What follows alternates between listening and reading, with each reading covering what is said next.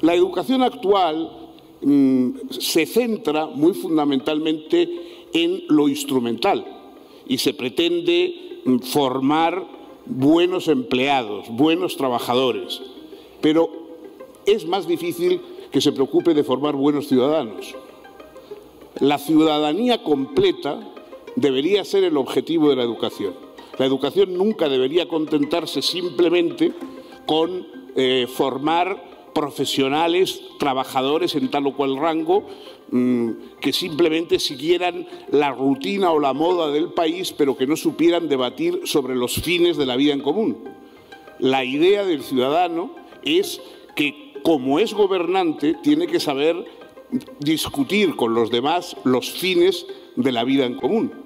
En el fondo, cuando estamos educando a ciudadanos en una democracia, estamos de alguna manera educando príncipes, educando a las personas que van a gobernar, aunque parezcan de, cuna muy modesta, aunque ocupen eh, sus familias mm, papeles muy eh, bajos en la sociedad, todos ellos van a poder votar, van a poder decidir, van a, de alguna manera a formar parte del poder constituido en una democracia. Uno de los eh, economistas importantes del pasado siglo, el canadiense John Kenneth Galbraith, escribió, todas las democracias contemporáneas viven bajo el temor permanente a la influencia de los ignorantes.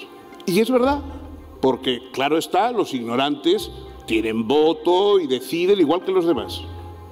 Si son muchísimos más que las personas preparadas, eh, educadas, etcétera, esos ignorantes, lógicamente, derivarán la vida social hacia la demagogia, obstaculizarán las soluciones necesarias siempre que impliquen algún sacrificio, favorecerán las desigualdades y todas esas cosas que ustedes imaginan perfectamente. Es decir, la ignorancia es un peligro, es una bomba de relojería dentro de la democracia. Pero claro, la, ignorancia a la que se refiere Galbraith no es una ignorancia de tipo científico, es decir, no, no se trata de que mm, la gente o nosotros o yo o ustedes pues no sepamos a lo mejor describir qué es la función fenerógama de las plantas o no sepamos situar bien en el mapa Tegucigalpa o cualquier cosa parecida. Es decir, todos nosotros ignoramos muchísimas más cosas de las que sabemos, en ese sentido todos somos ignorantes. Pero la ignorancia a la que se refiere Galbraith es la ignorancia de lo imprescindible para la relación política con los otros. Es decir, la ignorancia de quien no es capaz de entender una argumentación inteligible que alguien le haga sobre propuestas, propósitos o necesidades. Es decir, el que, el que no puede ni persuadir ni ser persuadido. La democracia se basa en la capacidad de persuadir, es decir, de que podamos explicar a los demás nuestras demandas sociales de una manera inteligible y razonada y que podamos ser persuadidos por las demandas que nos hagan otros.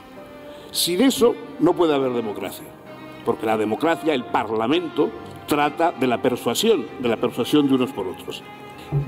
los que se cierran a la persuasión o los que no pueden practicarla Muchas veces la violencia surge de personas que no tienen capacidad de expresión, conocimientos suficientes, eh, lingüísticos, retóricos, lo que ustedes quieran, para expresar sus opiniones a los demás. Y de ahí surge la violencia. La violencia es la forma de expresión de los que no saben expresarse. Y eso, por eso es importante mm, favorecer que todos conozcan y que todos tengan medio de expresión.